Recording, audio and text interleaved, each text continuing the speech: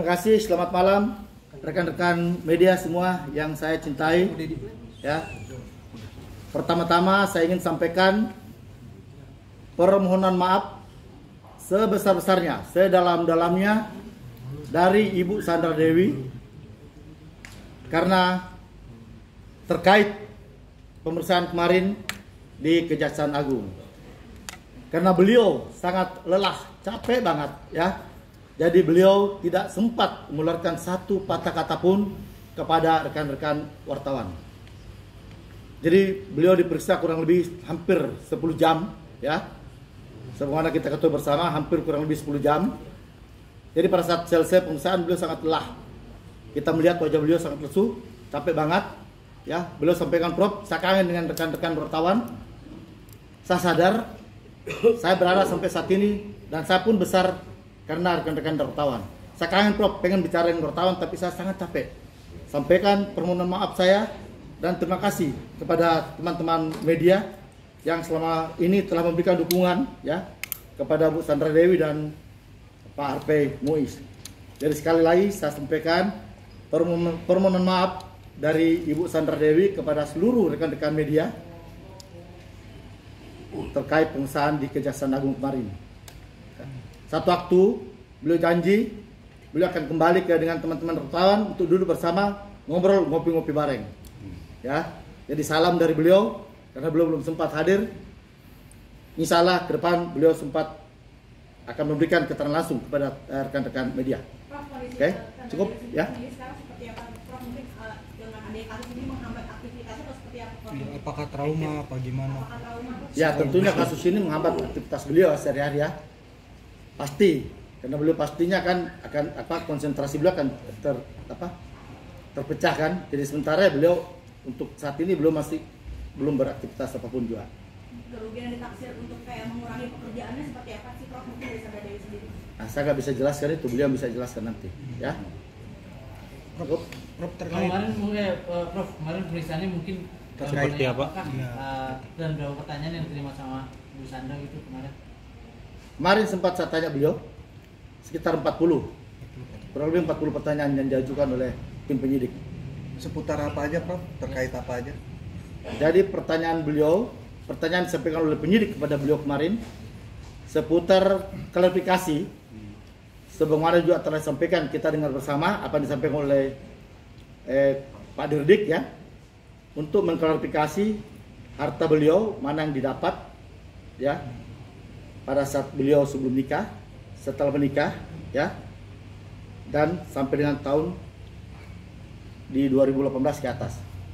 Jadi saya juga mengapresiasi ya kepada tim penyidik Pak Dirdik ya beserta tim Pak Jampitsus karena saat ini benar-benar kejaksaan dengan sangat hati-hati ya sangat profesional melakukan eh, penyidikan ini ya sebagaimana apa yang disampaikan oleh Pak Dirdik kemarin itu kami apresiasi. Bisa ada itu detailnya seperti apa sih dok? Eh, kenapa? Bisa ada detailnya seperti apa? Apakah ada perjanjian sebelum nikah atau ada. jadi sebelum nikah sudah saya pernah sampaikan ke rekan-rekan pada tahun 2016 2016 di bulan Oktober beliau menikah dengan Pak Harpei Muiz. Itu di November 2016 jadi di Oktober 2016 beliau telah melakukan terlebih dahulu melakukan perjanjian wisata perjanjian perkawinan cukup Prof selama ini eh, Bu Sandra sem- sering nggak sih besuk eh, Pak Harvey gitu di tahanan Nah. diberikan kesempatan gitu untuk membesuk suaminya di tahanan atau seperti apa sih Prof? pastinya karena saat ini kan sudah dapat besuk ya Ya. jadi beliau pastinya sudah pernah membesuk Kondisi mungkin Harvey sendiri seperti apa? Prof mungkin yang disampaikan Bu Sandra ataupun Profesor mungkin bertemu atau seperti apa? kondisi Pak HP Mucu saat ini baik-baik aja ya. Baik-baik aja. Cukup mungkin? Aset Prof? yang disita jadinya uh, udah ada apa aja, Prof? apanya? Aset yang disita. Aset yang disita sampai saat ini ada kendaraan ya. Ya kendaraan lah yang ada berapa aset yang sudah disita nanti tanya ke kejaksaan agung aja. Aset-aset apa yang telah disita Properti Prof. properti? Properti. Seperti rumah, rumah yang di properti atau apartemen gitu Prof? Iya apartemen yang di Ada yang disita belum itulah yang saya sampaikan tadi. Kejaksaan Agung, penyidik, tim, tim penyidik saat ini sedang menelah, meneliti dengan cermat ya aset-aset yang mana yang telah dimiliki, yang didapat oleh upaya dari Ibu Sandra sendiri dan mana yang memang pemberian dari Pak Harpe Muiz. Nah itu yang sedang di, di apa diteliti, soal, diklarifikasi oleh eh, tim penyidik Kejaksaan Agung. Prof, soal pesawat yang dimiliki oleh Pak Harvey di Singapura itu seperti apa sih, Prof? Apakah Jadi itu sudah hadiah? pernah saya samp- sampaikan pesawat tersebut adalah sewa, bukan milik Pak Harpe. Ya, sekali lagi saya sampaikan pesawat tersebut adalah disewa oleh Pak Harpe pada saat itu, Berarti bukan atas pemilikan dari Pak Harvey sendiri. bukan atas pemilikan pemilikan. Nah, itu yang saat ini sedang di eh, di di apa diselidiki oleh Kejaksaan Agung apa benar pesawat itu sewa atau dimiliki. Oke. Sampai sekarang sendiri Sandra Dewi takut nggak sih Prof untuk keluar rumah sendiri atau mengalami traumatis sendiri takut sih tidak ya tapi eh, beliau mengurangi kegiatan di luar rumah ya mengurus anak-anak lah. Ya berarti ini. Artinya tahu nggak sih Prof eh, Bu Sandra sendiri dengan keterlibatan dari Harvey Mu- Muiz sendiri? bagaimana? Artinya tahu keterlibatan suaminya? Bu Sandra itu tahu dari awal atau tidak? sama sekali nggak tahu. Kan saya sering katakan bahwasanya Pak Harpe dan Pak apa dengan Ibu Sandra ini kan adalah memang sama-sama pengusaha sebelumnya. Sebelum mereka mereka menikah beliau sudah menjadi seorang pengusaha. Jadi Bu Sandra sibuk dengan kegiatannya Pak Harpe pun sibuk dengan bisnisnya. Prof mungkin dengan bisnisnya Bu Sandra, Sandra Dewi Gold sendiri sekarang seperti apa sih? Apakah itu juga ikut terlibat dalam kasus ini? nggak ada. Ya jadi kita jangan ciptakan opini yang macam-macam lah terhadap bisnisnya beliau ya. Kita tahu itu kan memang sudah ada lebih dulu. Sebelum sebelum apa? Sebelum menikah dengan Pak Harpe kan sudah ada bisnis beliau ya. Jadi saya minta juga rekan-rekan wartawan jangan buat opini-opini yang menyesatkan ya.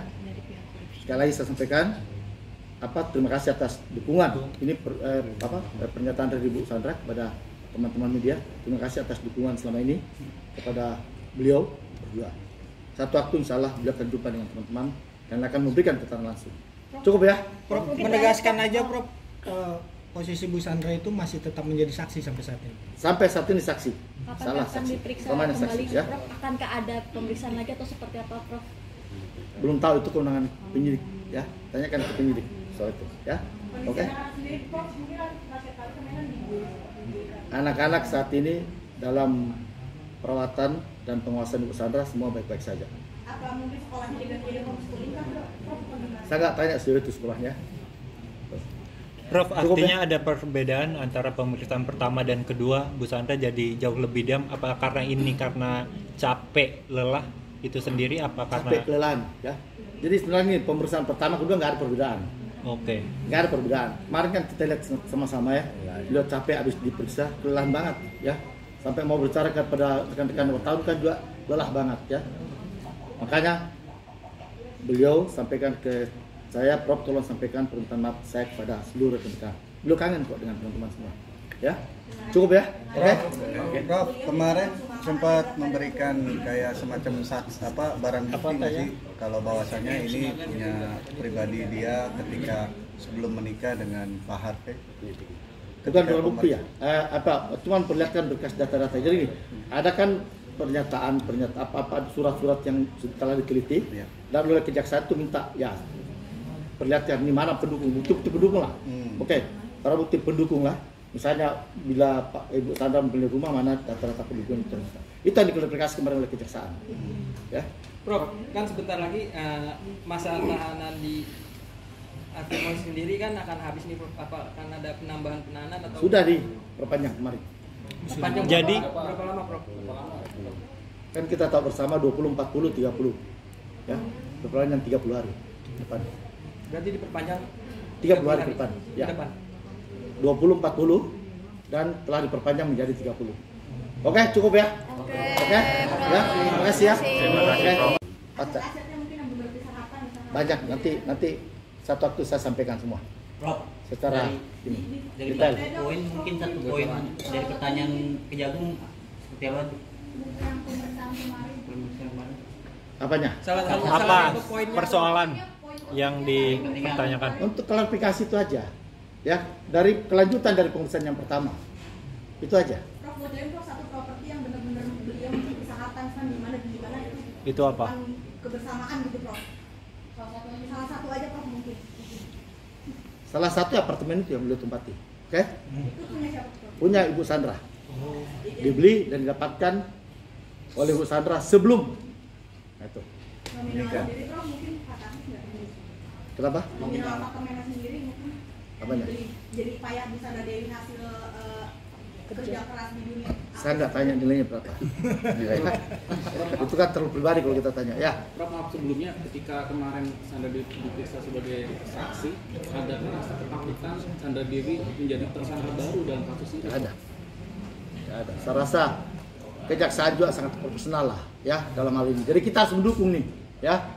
Kita harus mendukung apa pun yang dilakukan dan saya yakin sekali kita lihat bersama kemarin kan pernyataan Pak Dirdik ya Masanya benar-benar kejaksaan ini profesional dalam menangani perkara ini. Ya, makanya kami dukung. Ya, untuk itu. Jadi sekali lagi teman-teman, ya jangan ada ciptakan opini yang menyesatkan. Oke? Cukup ya.